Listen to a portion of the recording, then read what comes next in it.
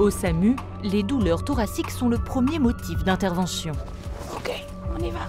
L'équipe du docteur Derek Vandergratch se rend auprès d'un patient de 59 ans. Il présenterait des signes d'infarctus du myocarde. Bonjour. On va le mettre sur le canapé. On va leur enlever le shirt, ok? Viorel, le patient, parle uniquement roumain. Il est en vacances chez son fils. Est-ce que vous pouvez ra- nous raconter pourquoi vous avez appelé le secours, monsieur? On a pris la tension, Ouais. il y avait 22,9. La tension indique la pression du sang dans les artères. L'équipe mesure même 24,10, c'est énorme. Une tension normale ne dépasse pas 14,8. Et là, vous avez pris sa tension juste parce que vous le prenez d'habitude ou parce qu'il avait des plaintes? Il a dit qu'il le mal. Il avait déjà 20 Il avait mal où? Euh, ici. Ici, ok. Une douleur à la poitrine, une hypertension sévère, des sueurs, ce sont bien des symptômes d'infarctus. L'électrocardiogramme confirme le diagnostic. Euh, Le sujet de monsieur, il est très anormal en fait. S'il fait ce que nous on dit, c'est un ST+, ce que veut dire qu'il a une coronaire, une vaisseau qui est autour du cœur, qui est complètement bloqué. Alors ça, c'est une urgence vitale. Si on ne traite pas ça, il risque de faire une, un grand arythmique, il risque de faire un arrêt cardiaque. 4000 de... 4250 et Et euh, ça, deux comprimés ouais. L'infirmière injecte des médicaments pour fluidifier le sang et dilater les vaisseaux. Il n'y a pas une minute à perdre, une artère est bouchée, le cœur du patient est en train de se nécroser. Le plus qu'on attend, le plus de muscles du cœur on perd en fait. Alors là, il a eu les médicaments pour prévenir tout ça, pour prévenir que ça devient encore pire.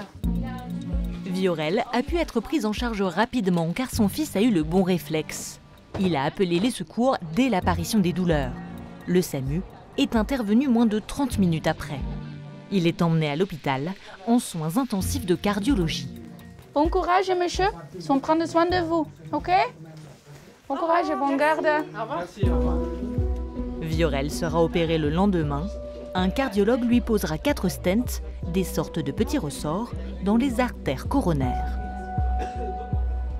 Des urgences vitales à la petite traumatologie, les interventions du SAMU sont variées. Cet après-midi, dans un gymnase de Toulouse, un jeune sportif a appelé le 15 car il s'est blessé en jouant au volleyball. Ah ben on le voit, il est là-bas.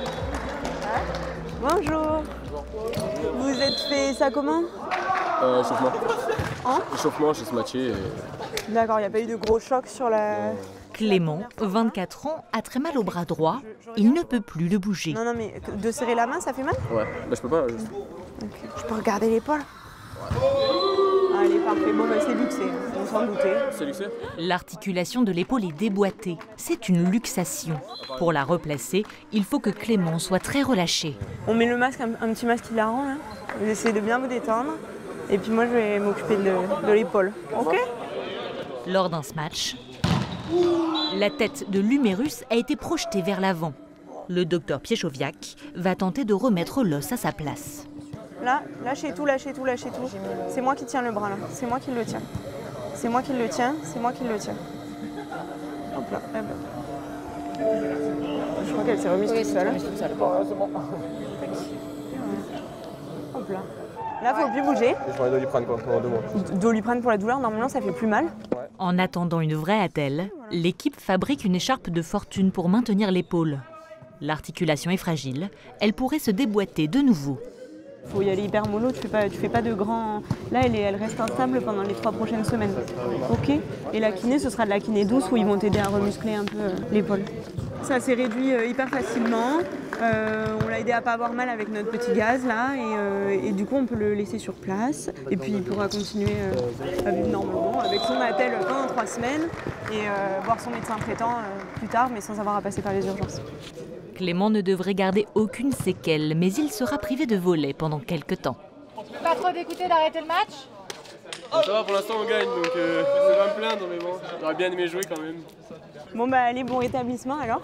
Et puis, euh, j'espère que vous allez gagner du coup. Ouais j'espère aussi. Aujourd'hui, Clément n'est pas le seul sportif malchanceux. Quelques heures plus tard, le SAMU est appelé auprès d'un rugbyman. Celui-ci aurait une grave blessure à la jambe. Un jeune homme de 33 ans qui visiblement s'est fait un traumatisme du genou avec une déformation. Euh, probablement une luxation du genou. Il y a déjà un médecin sur place. euh, et malgré euh, les antalgiques en intraveineux, il pas réussi, le médecin sur place, euh, à être efficace. Donc euh, on va aller voir ce qu'on peut faire de plus. Un médecin a déjà tenté de remettre l'articulation en place sans y parvenir. C'est une urgence car l'os dévié pourrait comprimer un vaisseau sanguin. Alors il y a une artère qui passe ouais, effectivement juste derrière le genou et parfois sur une luxation de, de genou, l'artère peut être coincée.